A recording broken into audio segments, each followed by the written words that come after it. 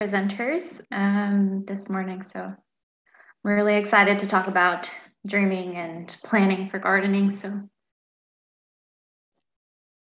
I can't wait for all the snow to disappear so I can start planting things. yeah. Okay. Uh, Julia, you want to go ahead and let folks into the into the room, please? Yep. Thank you so much.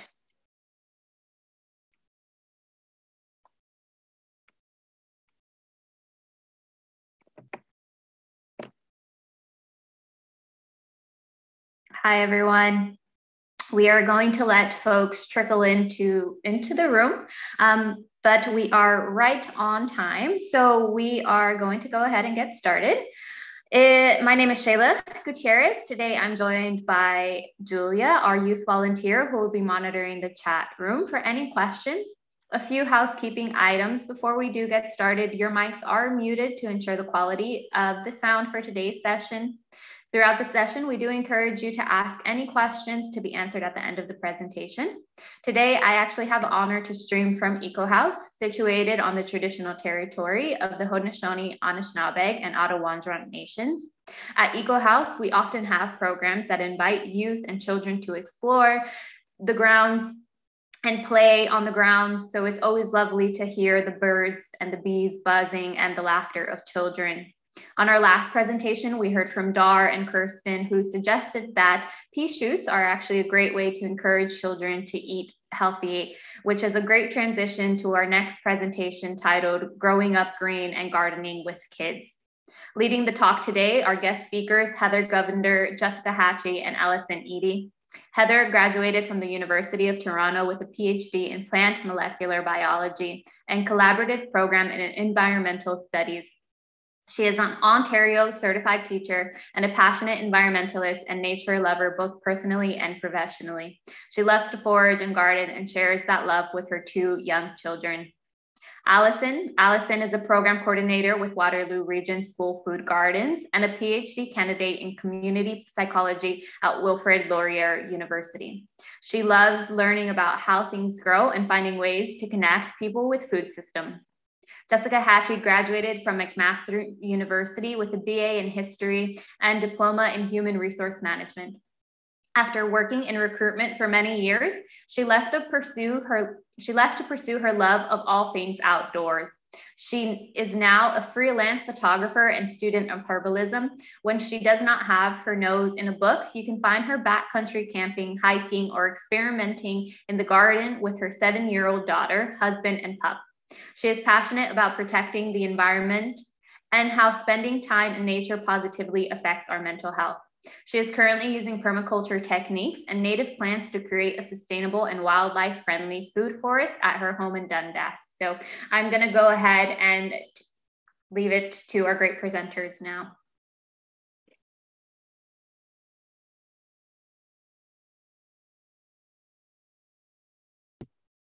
You're muted, Heather. Yep. Um, so I won't be presenting first, but since I'm I'm the presenter who works at Eco House, I'll give um, just a brief intro to Green Venture. Uh, many of you may be familiar, uh, but we, we have the mission of empowering Hamiltonians to implement greener practices in their homes and communities to make our city a climate champion. And one of the ways that we do that is through workshops like what we're offering today. And my internet's a little slow. I've switched the slide, just waiting for it to change so that I can ask a question of all of you with the prompt on screen. Um, but you may as well get ready in the chat. Oh, there we go. Um, so we would love to hear, before we start sharing our stories, we would love to hear who's in the room today. So are you a parent, a grandparent, an educator? Are you an avid gardener, a beginner gardener, wondering what a garden is? Uh, just what, why, what brought you to this presentation? Um, just so we, we know who is here. I'll give a moment for people to put that in the chat.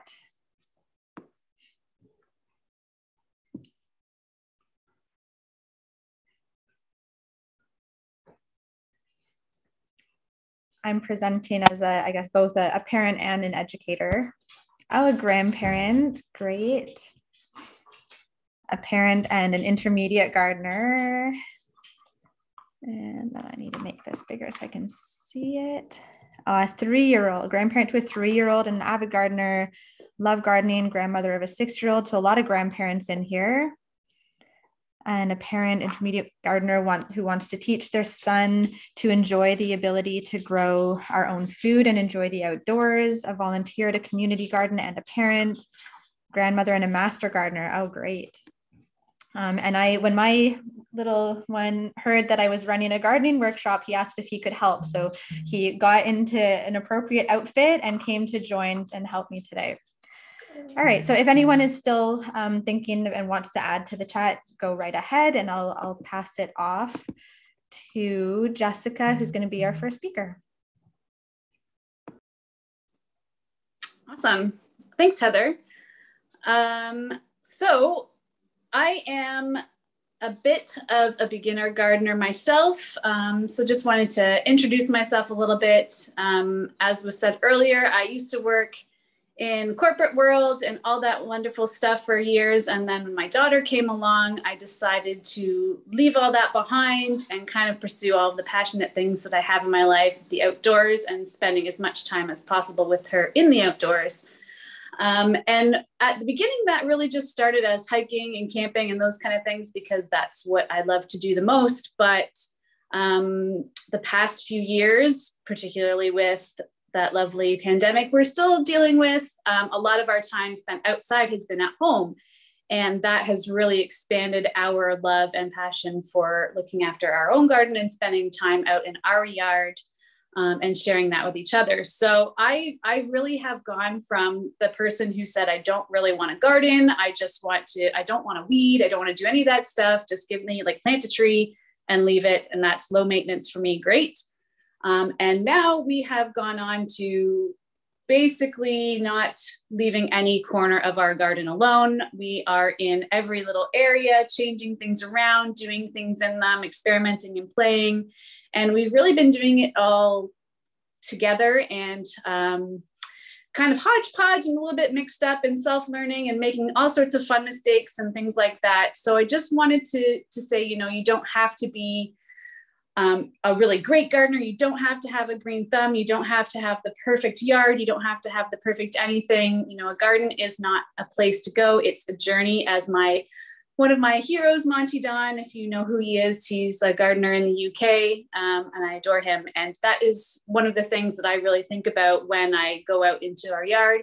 It's not a place for us, it's a journey and a place for us to explore and learn things and have fun together. So um, yeah, you'll see that for me is I went from won't touch a weed to I am obsessed with all things gardening, and it's been a wonderful journey for all of us. So that's kind of where I'm coming from. Um, and when I first started thinking about what did I want to talk about, I was really there's so many things to talk about with gardening. I mean, you can literally make uh, an entire day or your entire excuse me entire life all about gardening, but since we are talking about kids with gardening, I thought I would talk to my daughter first and find out what it is um, about gardening that she loves the most. So that might be some inspiration as well. So these are her words. Um, she told me that she loves all the seeds and their different shapes and textures and feeling things. So um, that's one of the things we do together is when I'm going to pick out seeds or starting to plant them, she does that with me. She gets to touch and feel and learn what each one is and what it does. Um, she'll plant them as well. And uh, she really loves how there's really funky shaped ones. I don't know if you've ever seen a calendula seed, but it's got a really cool horned um, hooked C shape. Anyway, she just thinks that's really cool. Of course, little baby seedlings are adorable and so cute. So she loves that. Um, she really likes the idea of having babies and growing them herself uh, and having them start really tiny and so cute and then having them explode like our tomato plants did last year, which was really awesome. They were taller than she was. So she got a real kick out of, you know, seeing it start from little tiny thing to growing to this giant um, plant and eating from it. Uh, something that, of course, made me really happy and a little bit teary was saying that she liked to garden because she gets to be with mom.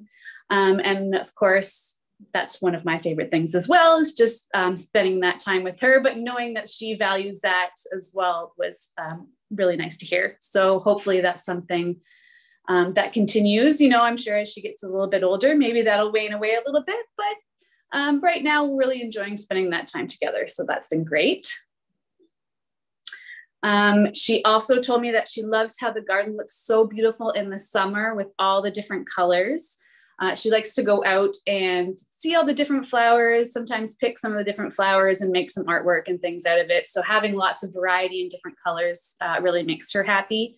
Worms, of course, because seven, uh, worms are pretty awesome. And she knows that worms are really important because, you know, they eat a lot of the things that are in the soil and help um, add nutrients to the soil, which makes our plants grow much bigger and stronger. One of our favorite things um, about growing our own food is called morning harvest in our house. So we have a little um, harvest bag or a basket that she takes out in the mornings during the spring, summer, and fall, and we'll basically go and pick whatever is ripe um, and eat it either right off the vine, which is great, or we'll bring it in to have for breakfast, lunch, or dinner. Um, so that's a lot of fun. And then also when we're just playing out back, we have, you know, a few berry bushes and things like that. So she likes just being able to stop what she's doing, play, go have a few strawberries or a few raspberries, and then get right back to playing without having to stop. You know, that's pretty fun for her. Uh, playing the dirt, of course, always popular with kids. This is a real excuse to play in the dirt and get dirty, and it's not a bad thing, right? This is their chance to like get dirt under their fingernails and on their faces and try out new things and dig and explore the kind of messy side of gardening. So that's a lot of fun. Um, and of course, the animal friends that come to visit our yard because of all of the different things we've planted. So uh, we have so many birds that come to our yard. Um, actually, this past spring, we had a huge flock of blackbirds. I'm not exactly sure what they were, but there were probably 30 of them. And they descended on our yard for an afternoon and just kind of ate and did their thing before flying off again we have a couple of bunnies that come and you know squirrels that come and dig and hide things in our yard. So having our little animal friends come to visit is also a big part of why she loves to garden. So um, and then after i spoke to her i was like okay well those are the things that she really loves about gardening but why do i love gardening with her? Because gardening can be um, something that we do that can be pretty particular or um, we have certain ways that we like to do things um, and that doesn't always pan out the way we plan when we have little helpers. However, there are some really, really awesome things that happen when my little one is in the garden with me. Um, and the first thing is watching her get so, so excited when something new pops up. So, for example, we've just started um, a couple of seeds uh, already. So, we've started peppers and onions, and we have the tiniest, tiniest little sprout coming up from one already. And that's just the greatest thing ever. Um, going out and seeing um, blooms that maybe bloom at different times of the year spring, summer, and fall. She gets really excited when there's something new or something new to eat that we've um, that we've planted that she's really excited to eat. Um, the other thing that's really great is if you let them kind of choose their own fruits and vegetables that they might want to try, they might eat things that may not have normally had before. So um, at the beginning, it was mentioned, you know, peas were a really great thing to grow um, because it's really great for kids, but there's all sorts of things. Last year, she picked beets. She wanted to try planting beets because they looked beautiful on the package. So I was like, great, let's let's have some beets. So we planted beets and she tried beets for the first time this year, which was great. Uh, or sorry, last year. And this year, um, she wants to try cucamelons. I've never had those before either, but we're going to plant them and give them a try, and maybe we'll love them and we'll have a new great food to eat. Um, you can actually see in the picture there, that was a morning harvest that we did. So there's carrots and peas and chives and uh, cherry tomatoes. She picked those all that morning, chopped them up herself, and ate them for breakfast. So I'm certainly not going to argue with her having a giant bowl of vegetables for breakfast. Does she have it every day? Of course not. But it gives her the opportunity to do that where we wouldn't have had it normally.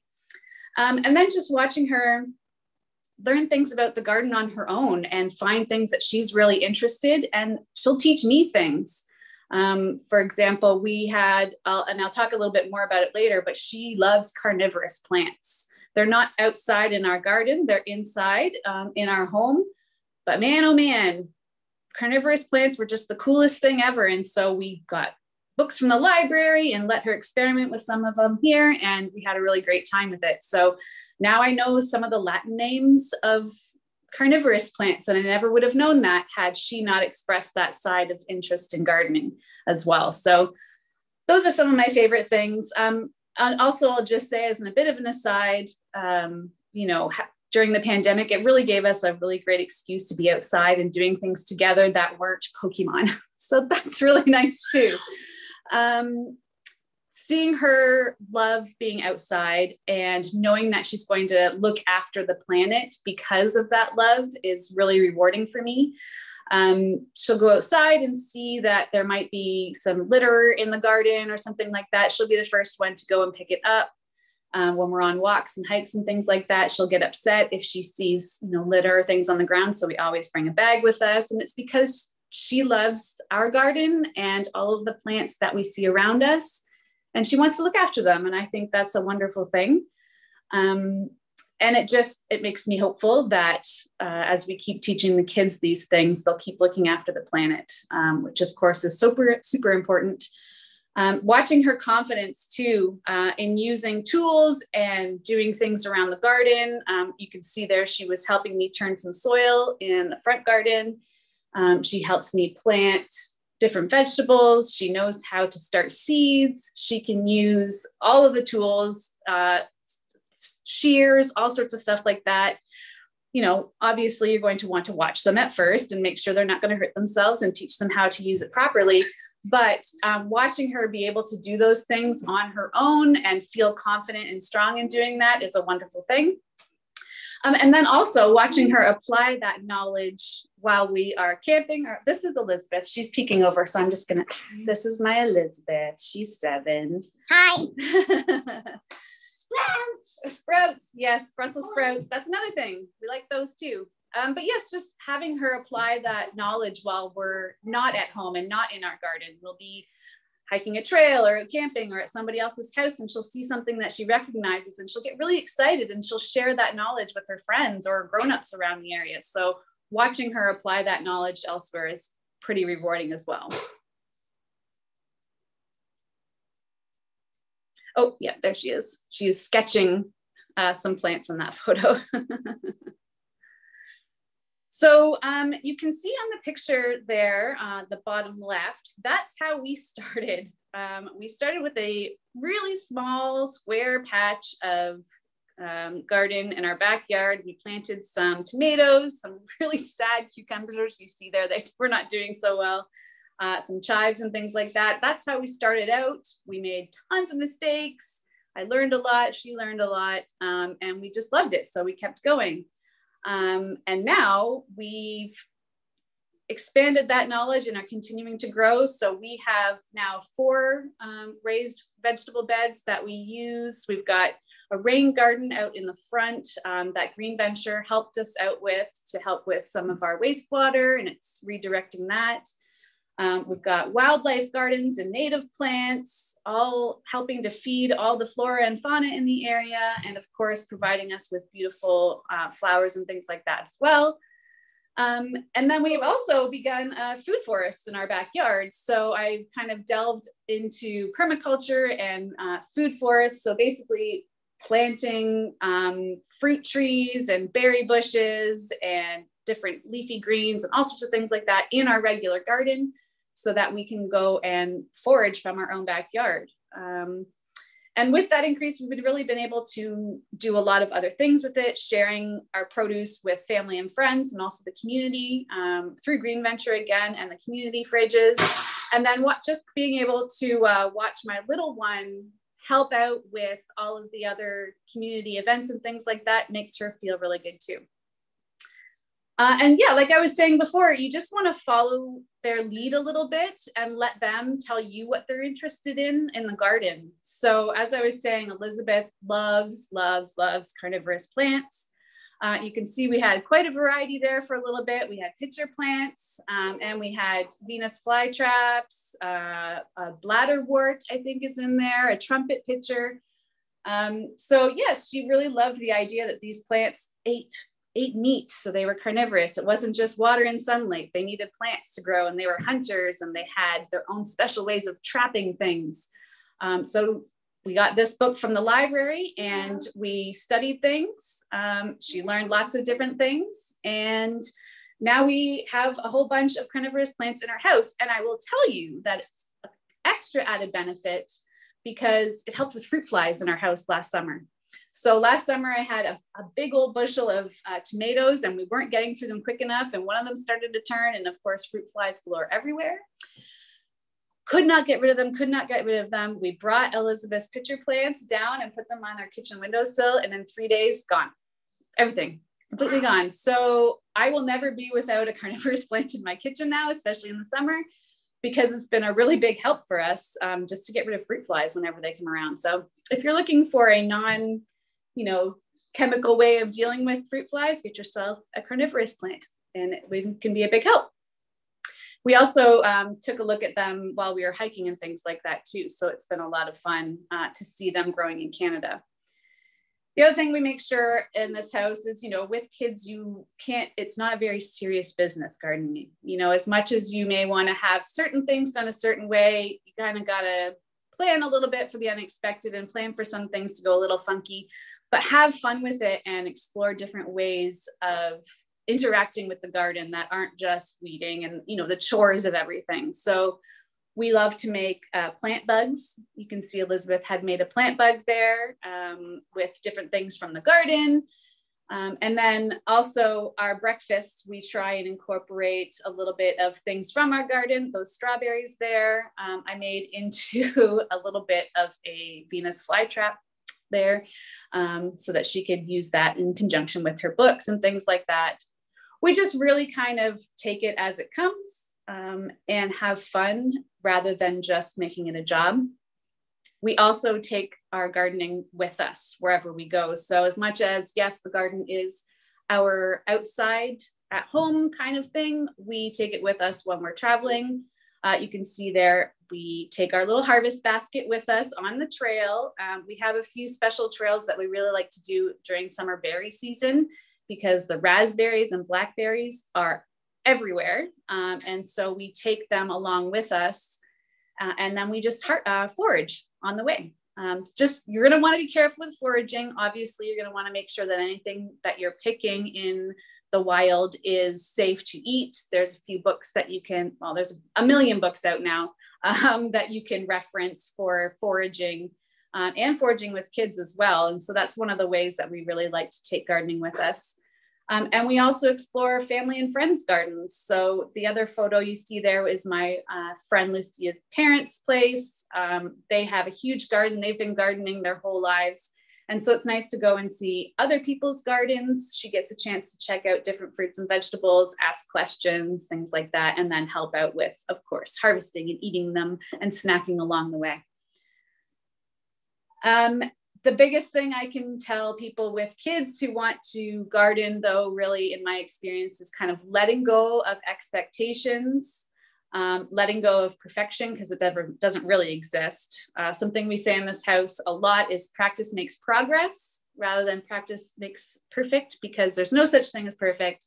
But every little thing that you do can be progress. Um, even if it's just, you know, trying a new plant or going out and playing in the dirt for a couple of minutes, whatever it is, that's all the little things, they do add up. And it progresses not only your garden and your relationship, but also their love of the outdoors as well. Um, so that would be my biggest tip. And again, my, my friend Monty Don, I love his quote. It's inevitably the real garden with a growing family of children will be untidy, messy, even noisy, often destructive and it can can drive control freaks like myself. I am a recovering perfectionist too, so I can relate.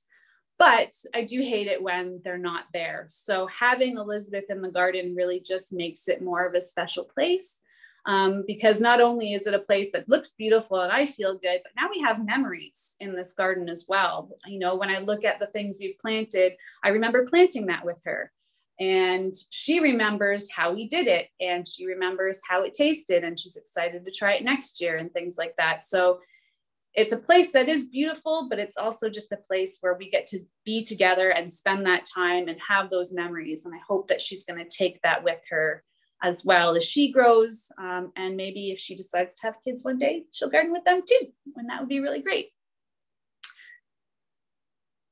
Thanks. All right. Uh, so I'm Heather, and I'm a mom of two kids, a five year old and a three year old. And we love being outdoors together in the garden or, or otherwise, just among nature. We love trees. And as Shayla said at the beginning, uh, I, I am a plant biologist. I have a PhD in plant biology, but I don't really have that green of a thumb. I had a lot of difficult conversations with my PhD supervisor to let him know that I had killed my plants again and had to start the experiment over again. So I'm really not that great of a gardener, um, but and I'll share my experience from that place of not really being that good about good at it, but loving it and trying to share that with my kids. So, one of my favorite ways to introduce them to gardening is to do what I call zero effort gardening and to be really loose with the definition of what constitutes a garden. Um, so these are dandelions. Those are my kids harvesting dandelions and having a great time with it. And I didn't plant those dandelions, but they do grow in my garden. These ones are in my yard, but they definitely grow in my garden. So we we consider this part of our gardening experience. And look how much they love it. This is one of our favorite things and then we we spend time together outdoors and then in the kitchen. Uh, we make dandelion syrup which is so much fun and delicious. We make dandelion fritters and throughout the season my kids will be playing outside and then they'll come in with a bouquet of dandelions and say mommy let's make fritters. And they, they love it and i love it and then other free foods as well. So this is more zero effort gardening and stuff that it takes very well no investment of time or money or resources. Um, so the dandelions you can go outside and pick for free. Uh, just make sure you're picking them from somewhere you know hasn't been sprayed with pesticides or anything else you might not want on your food. Um, so they're they're picking some. I think those are choke cherries from a tree uh, harvesting grape le- grapevine leaves in the middle. And then on the right, they're looking for fiddleheads, much too late, but I, I didn't tell them that. They, we just went, they wanted to look for fiddleheads. So we went exploring and tried to find some and we we also we're fortunate to have a lawn that doesn't have all that much grass in it. It's a mix of a lot of different species. Um, i love the biodiversity of our lawn and it has a whole bunch of wild strawberries. So we can get down on our knees and, and pick the strawberries at the right time of year and it's they're fun and delicious and um, my, my kids love it. So those are some of our, our free foods that don't take any actual gardening skills uh, and just anytime I talk about foraging or picking wild foods, I, I like to include some words of caution because it there are some that are very safe um, and easy to recognize. Um, but I wanted to show some spruce tips on the left compared to yew on the right because spruce tips are safe and nutritious, full of vitamin C, and yew is deadly poisonous. Um, so just make sure that you you really know what you're looking for before you try doing something like this. And even dandelions have a, a common look-alike. So just make sure you know what you're looking at. And then just a second. Um, I, I also make sure that we enjoy the whole process because uh, sometimes you won't get a bountiful harvest. Things won't work the way you expect. Um, so we just make sure to enjoy the entire thing. I tried to put a picture of some of my failed plants here, but for some reason I don't have very many. I didn't take any pictures of all the, the plants that didn't work out. Uh, so instead I put a picture of a failed batch of dandelion syrup where we were busy doing too many things at once and it boiled dry instead of boiling into a lovely dandelion tea that could be turned into a syrup. Um, uh, so these are some photos of the process last year of putting in our pumpkin patch, which was, it was the first time I've ever grown pumpkins and my, my kids were so excited about it. We had big plans to harvest our uh, Halloween pumpkins from our own backyard and it it didn't work very well. This is one of those patches that ended up with uh, I we had a bunch of dead pumpkin plants at the end of the year. And before kids, I, I would have looked at that and thought, oh my goodness, what a waste of time that was, and being very disappointed. But going through the process with kids, we enjoyed every step along the way. We liked planning it. We we loved scooping the dirt. Okay, tell, all right. Can wait. That's actually. Can you tell them that in a minute? Tombo's uh, anticipating where this is going, and I, will let him share the the happy um, part of this story. Not that any is not happy because I love the whole thing, um, but we had so much fun scooping the dirt. We loved planting the seeds and then watching the first little seedlings sprout. We loved all the critters that came to visit it And even though we ended up with a bunch of dead plants, it's just the, the entire process was filled with learning and making memories. And I, I'm, I will have those memories forever and hopefully that learning forever. And then it was a nice surprise when, what did we find? when we found some pumpkin that uh, when I found pumpkins that just and one of them fixed itself by by like magic and the other one was a was tiny because it dust started because it uh, dust ripened. Yeah. So we we thought it was just a, a whole patch of dead pumpkin plants, but one time when we walked closer, Tombo spotted two successful pie pumpkins, two pie pumpkins that actually did grow and they were just hiding under the dead plants. So we got to harvest no, Mommy, two pumpkins. That one and, wasn't hiding. It was the oh, screen. Oh, okay, one wasn't hiding. Yeah, one was the screen camouflaged with the others. All right. So we, we did, we got to make the most delicious pumpkin pie and it was so much fun to do it with something that we grew in our own backyard. Um, but this, this process would have been a lot of fun and definitely worthwhile, even if we didn't end up finding these two surprise pumpkins after we thought none had worked. So I'm going to share some of my, my favorite um, lessons learned and some of what has really worked for me in gardening with kids. Uh, one is gardening with kids. It doesn't have to mean a lot of prep planning or equipment. So some years I have the best intentions, but I'm a busy person. I always have a lot on the go. And sometimes I get to April and realize I haven't started my tomato seedlings yet. And if, if you're an avid gardener, you know that that's too late to start your tomato seedlings. So sometimes we'll end up going out and buying some seedlings, but we also just do things like going out and harvesting spruce tips from our spruce trees because they grow happily on their own in our garden, or we'll go harvest the, the, the dandelions and the wild strawberries, all those things that don't need me to be on top of things uh, in order to be able to get a good harvest. And gardening doesn't always require a garden. So it could be a walk through the woods or looking for some of those, those safe wild foods that um, I, I, I do want to mention sustainability as well, because there are a lot of things, especially during COVID. I think um, foraging became a lot more popular, and there are some things that are becoming over harvested. So, if you do want to get into this, make sure you do some research and learn about uh, where you're allowed to forage and how to do it sustainably. But um, that is another way to get into gardening without actually needing to be able to garden or have space for a garden. Uh, and we've also really loved growing foods from food scraps and that you can do just on a windowsill. It's it's really easy to have success. You don't have to remember to water them every day because there's already a substantial plant there. Mm-hmm. Um, and it's it's great for experimentation and the, the kids love it and it's so much fun when you see like green onions regrowing from the, the little bottom of them or carrot greens growing from um, from a carrot uh, the, the top of a the cut top of a carrot um, and definitely enjoy the process. It can be about every step along the way. It doesn't have to be just about the harvest at the end. Um, and that also means sometimes letting them fail. Uh, so if uh, like if if my um if one of my kids says oh no i really think this should go in this way and they're trying to plant something roots up for example uh, which actually happened when we were growing from scraps and um, and tombo just thought the carrot looked like the the greens should go down into the water. Um, and rather than trying to correct that and say no you're wrong just let, let them do it. Let them plant it how they like and just watch what happens and they'll they'll get so much more from the process that way uh, and it's it's it's good practice to be able to fail in a way that's still fun and safe and um, maybe remove some of that pressure of always getting things right. And um, and then that brings me to redefining success because it, it, doesn't need to mean having a big beautiful garden. Uh, i've had to redefine success for years because as i said i'm not a very good gardener um, but i love it. Um, so it's it's worth it for me to keep at it and keep trying. And I'm, I'm going to keep trying. We have big plans for our garden this year um, Jess Tombo was actually making plans for our garden while you spoke. When you mentioned berries, he was telling me, "No, mommy, we need to grow berries this year." Um, yeah, it's gonna be gonna be great. And one of my big lessons that I've learned is to resist the urge to to teach. Um, I want to share a story that always sticks with me. Uh, one time, Tombo came to me and said, "Mommy, I found some seeds in my orange. I want to plant them."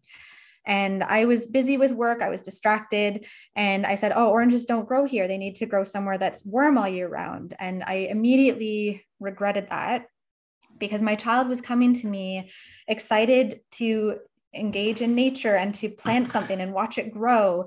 And instead of nurturing that curiosity, I immediately shut it down. And what I wish I had said is, great, let's go find some dirt. And thankfully, I've had many, many do overs since then because my kids often bring me things and want to try planting them. Um, and so now we do, we do, we just go try it. Some of them are things that end up working and some don't, but it's, it's always uh, a lot of fun. And I think there's so much more learning that happens when you just let the learning happen rather than trying to always teach. Um, there are times when I decide to teach, usually when it's something around safety, uh, like around foraging and teaching rules like don't touch anything if you don't know what it is. And um, like what for now, since they're they're five and three, right now they're not allowed to forage um, without me. Um, although in our own backyard, they, they are allowed to harvest dandelions. So I, am going to backtrack a little bit. They can forage dandelions in our backyard because they they know for sure which ones are the dandelions. Um, now, for me, when I do have some successes when I'm starting my garden, uh, like starting seedlings and then I'm finally getting them in the ground. It's really stressful for me if my kids are taking those seedlings and if they do try to plant them upside down, for example, or if they're being too rough with them and I know it's a plant that doesn't like its roots disturbed. Um, and it, it was becoming less fun and it was a lot of me t- saying no no like don't do it like that. Don't um don't damage the plant. We worked really hard on that and it's it was taken away from it. It wasn't as fun for the kids or for me. So i started giving them their own space whether it's just a little corner of the garden or their own their whole own garden and then i let them just take the lead on that garden. Um, so if there is any space in your garden where it would be really hard to just let them do their thing i highly recommend trying to find a way to let them have that freedom to just make all the mistakes in their own patch um, and don't lose sight of what's most important. And for me, it's I want my kids to love gardening. I want them to love this planet so that they're more likely to want to protect it. And I, I just want to keep having fun. I don't want it to become a chore. I want them to just love the entire process like I do and my some of my favorite things that make it worthwhile to go through all this are exploring nature with my kids and watching them learn oh Tumbo spotted the snake that he was holding. That's him holding a, a baby snake there. And um, on the right is his brother Forrest falling in love with the cat he did. And just letting go of my expectations because uh, things don't always happen the way I expect them to and that's okay. I, I, can go with these big plans and expect them to whoa, whoa, whoa, have this whole process in mind. And then we might not get any further than watering the garden, noticing it makes mud, and then we spend a couple hours playing in the mud. Um, and I just I try to just let let things happen like that because the most important thing is that we all keep loving it. And I'll pass it over to Allison. Thanks, Heather. So, I am a program coordinator with Waterloo Region School Food Gardens. And today I'm going to be talking to you about gardening with slightly older kids. Um, a lot of what we do, we do work with elementary school age kids, but a lot of what we've been focusing on in the past couple of years is bringing in, you know, middle to high school age kids and figuring out what brings them to the garden and how we can draw them into gardening, growing food, and food systems as a whole. Um, so Waterloo Region School Food Gardens, we are a kind of sub-project of Seeds of Diversity. Um, we're funded by a, currently a three-year Ontario Trillium Foundation Grow Grant. And kind of the way we started out as an organization was through a partnership of different groups of um, teachers, parents, garden enthusiasts, and public health workers in Waterloo. Um, Waterloo schools actually have a really neat history of gardening in schools. We're in kind of a funny area that's a mix of very urban and very rural. So some of our kids don't have backyards, they don't have places they can grow things, and some of our kids live on farms. And the schools here have made a really neat kind of mix of ways to incorporate gardening into schools and we wanted to show up to support that. So a lot of what we did in our first couple of years was providing grants to schools to build gardens and figuring out how to provide programming for teachers and parents who wanted to do that. And then 2020 hit and we suddenly didn't have access to a lot of our schools. A lot of our schools were saying, you know, even if we do go back, we don't know if we can have a garden because there's so many restrictions on this. And we kind of took this as a chance for a giant experiment. Um, as a bit of a background, I'm not an expert gardener, I'm a psychologist. Um, I am interested in how to engage young people in sustainability and food systems. Um, but I am learning as I go, as are the rest of my staff. We come from a bunch of different backgrounds. Um, so we've been looking for a while. You know, there's a lot of energy from especially parents of young kids. There's a lot of community programs and things like that for younger kids, even though there's still nowhere near enough to garden in schools, to do gardening work at home. But there's kind of a gap when kids hit that kind of middle school to high school age. There's not a ton of resources. So, what we wanted to figure out, especially when they couldn't garden in their schools, was how do we get these kids space to be involved? What kind of things are they looking for? What gets them excited to be involved in the garden? So we kind of shifted a bit, a bit, of our programming to call it youth and food systems instead of school food gardens. That's kind of our sub program because we weren't really in the school at the time. And we took this as a giant experiment to kind of recruit a few youth that we already knew were interested and let them figure out how to bring their peers, let them figure out what got them excited about gardening and how we could bring more of that for them. So we kind of framed a lot of our programming that year around a couple of things. And we used a hybrid model of both in person outdoor learning at some of the schools that lent us their gardens when they couldn't be there, and online learning, because that was the space where a lot of youth were looking for things to do. And we built a lot of it around our youth food farmers market. So in previous years, we'd had this market where we were looking for ways to engage, especially high school students from our schools that had gardens, and kind of building up their connection about, you know, when you grow food, where does that go next in the food system? Where does your food come from? Where are the farms in your region? What kind of food grows here? What kind of food gets imported? And so we built a lot of our programming for the past couple of summers around how do we bring in youth to kind of fill in the gaps in summer maintenance at some of our schools because this is an open garden space that we can use. We had some really, really generous offers from some of our elementary schools that had gardens who couldn't garden that year to just let us take over for the summer and plant something that would grow in the fall. And we could use the produce for our market. We could use the garden as a teaching space. And so we decided to, you know, take some big risks both on our part and you know asking the youth to be pretty brave. And we said you guys are in charge. We want to have a market. We have these gardens. What do you want to grow? What do you think is going to sell? How do we get it from the market from the garden to the market? How should we price things? What do you think people want? And so we took this as a chance to really as as kind of both heather and jessica said be brave, be willing to make mistakes. We had some backup from some really awesome local farmers who let us kind of fill a gap in with their produce that they donated. But we got together a bunch of youth and we kind of mixed working online and in person to say, let's do some research. You know, are you, if you want to get involved in a garden, if you want to figure out what the market's like, let's research what the prices are at your local grocery stores. What are you excited about eating? What do you see selling at your local farmers markets? And then we're going to come back together to talk about if we have from, you know, April or May, because we started a little bit late, until August, September, what can we grow in that time? Here's the space we have. Here's the time we have. Here's the people we have. How do we put that into action? And what we found is there's a lot of energy from especially older kids who are ready to take a bit of responsibility, who are really figuring out who they are and what they want to do, to take some leadership, take some ownership, and take some big risks in kind of leading the garden. So, um, sorry, could you go back one slide, Heather? Thanks. So, here are some of the things that we learned from letting our youth kind of be in charge. Um, first of all, if you give them the space to be in charge, you're not necessarily guaranteeing the success of that plot, but they are so ready to step up and figure out how to grow. Um, we also figured out that some of the older youth because they're kind of getting a bigger picture of the world because they're starting to explore things on their own and learn about kind of bigger food systems, they're really ready to make connections to a bigger picture. And what they really like, even if they're not so into gardening at the moment, is connecting what they're doing in the garden now to what they can do with that later. They're really interested in learning about cooking, learning about recipes they can try, um, people they want to share information with, places to donate extra food to. And then also learning about things like careers in food systems, because they're really thinking about who they're going to be out in the world by themselves.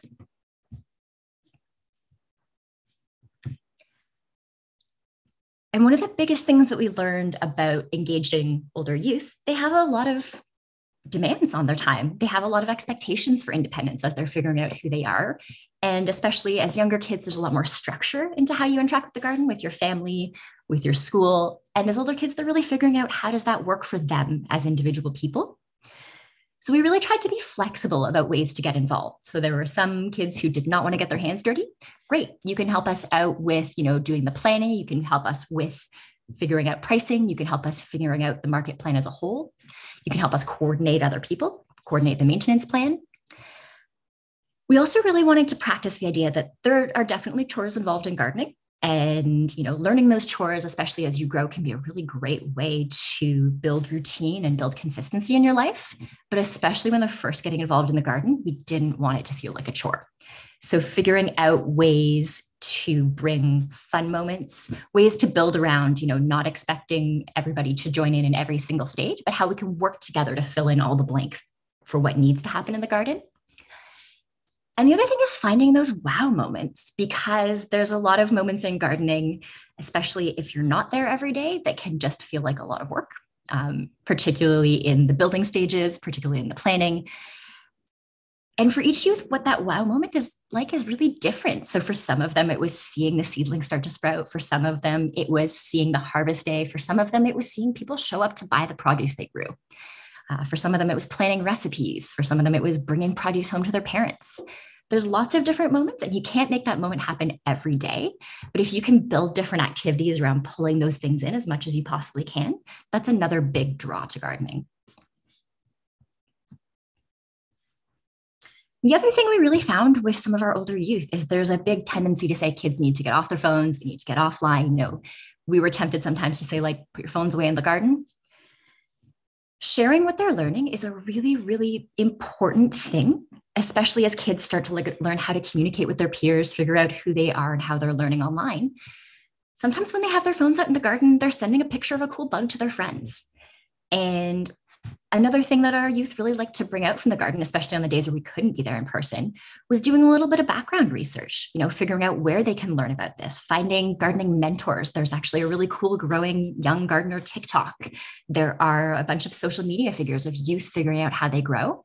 And our youth wanted to be a part of that. So we actually gave them a lot of control over our social media, and we've been building up a little program over time to have them write blog posts about different food systems issues that are interesting to them they did um, feature posts on our social media, like our Instagram, highlighting produce we were growing and how to you know, use it in cooking, how to grow it, tips for maintaining it.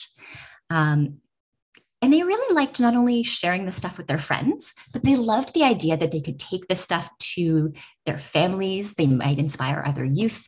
They loved teaching this stuff to their younger siblings.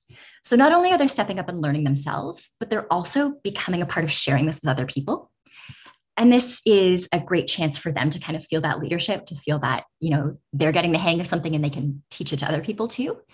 And it's also part of creating this kind of broader green culture where you feel like they're joining a bigger picture of other people their age who like to garden other people who want to see the world they want to live in too.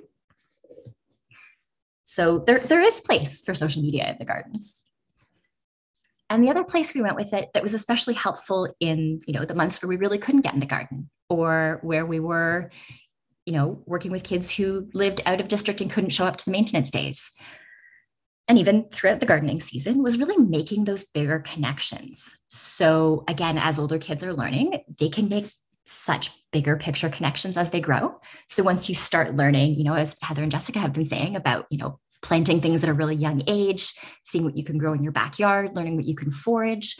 That can be a really, really great starting point for bigger conversations about things like sustainability, about food justice, about community, about food security.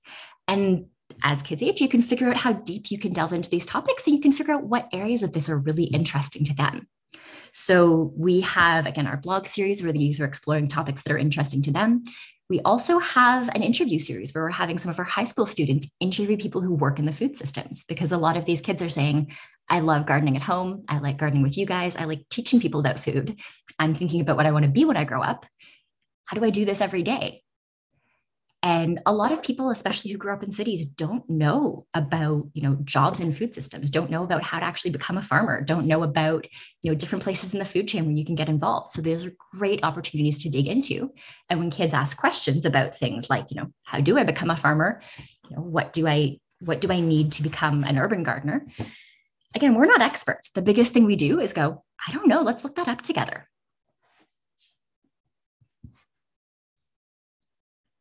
So the biggest thing we learned throughout all of this process is like again echoing what Heather and Jessica have been saying today. It's okay to not be an expert. If anything, it's an advantage to not be an expert. You know, it's great if you have those like pro gardening tips to bring in.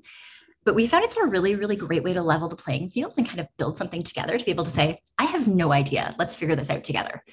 No, I'm not the expert. I'm not teaching you. We're just like finding our curiosity here and figuring out where that takes us with a lot of young people, they're the biggest kind of gap we can fill. Again, we live in the age of the internet. There's so much access to information out there.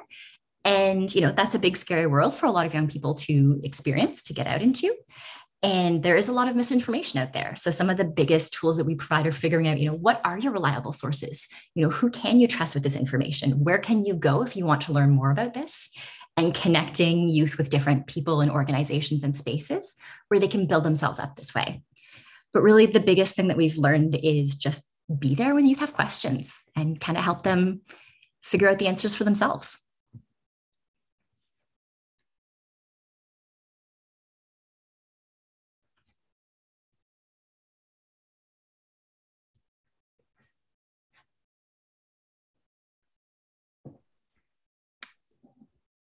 Thank you. Thank you so much to all three of you for sharing your knowledge. Um, we do have a few great comments in the chat room and questions. So I'm going to uh, just read really quickly um, a few of the comments that came in. So um, says this mindset is super helpful. Steph says, and um, it's an amazing way of incorporating their current climate and culture to the green culture and gardening. What an amazing opportunity. Um, Sue says, I agree with Seth. This is fantastic. They are learning so much about sustainability and how to communicate that with others to get them excited and involved. And I think you re- really hit it on the nail, Allison, when, when you said that a lot of people aren't aware that these, these careers exist. So I think when you get them young, that's really how you keep them, um, how you make them a lifer, really. Um, but you can also do it um, when you become older, you right? You find you find a love for it. I, I didn't know gardening was a career choice, right? But now I'm thankful that I have found that in my older older life. So um, one of the questions that came in was directed to Jessica about the carnivorous plants. Where would you find a carnivorous plant?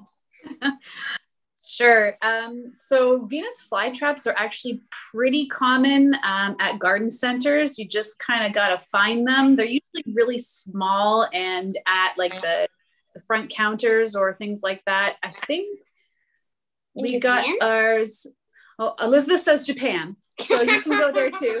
Um, but if that's not on your list right now, uh, I think I picked up one at Connon's um, and another one at Garden Gallery. It's pretty simple for some of them. Um, some of the other ones, um, there's actually a few.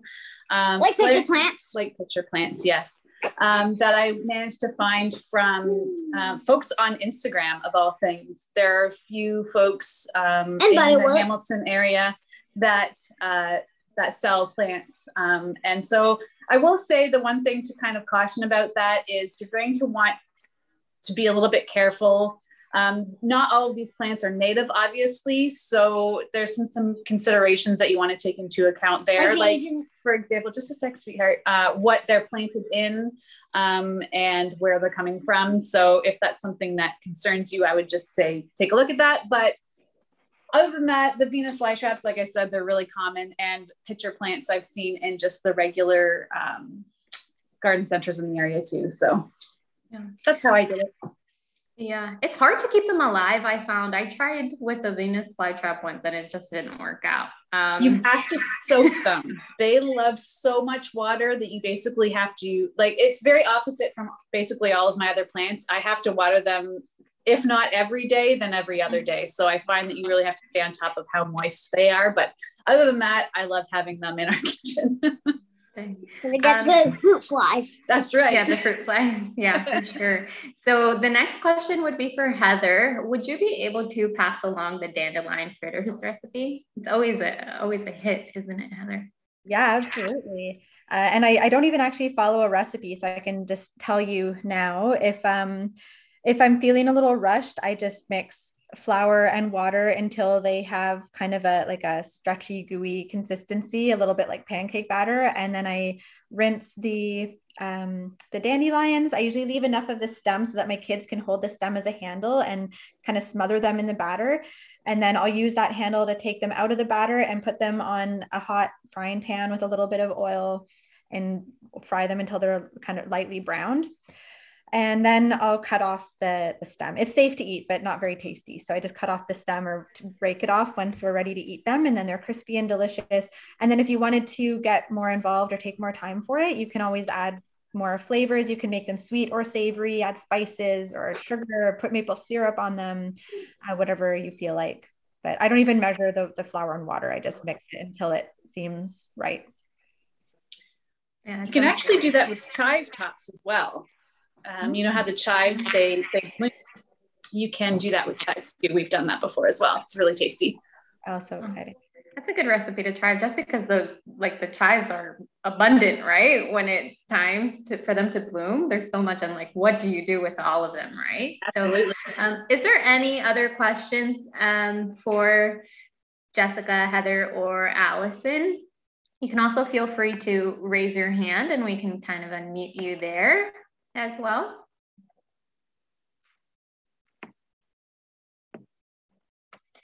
Give that a minute in the chat.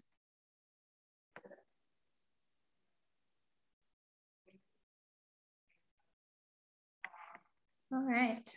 So thank you for everyone, um, grandparents, parents, community gardeners, um, whatever your role is in taking care of the land for, for joining us today. Um, Thank you to our guest speakers today for sharing their wealth of knowledge in gardening with kids. And um, you can clearly see that they have passion and love for gardening with kids. So thank you for tuning in today. Um, our next presentation is at two o'clock. As a reminder, we will send a follow-up email um, with resources that our panel has provided and a link to the recording after in case you missed anything or wanted to go back and, and hear our speakers today. So thank you all for, for being here. Thank you for coming.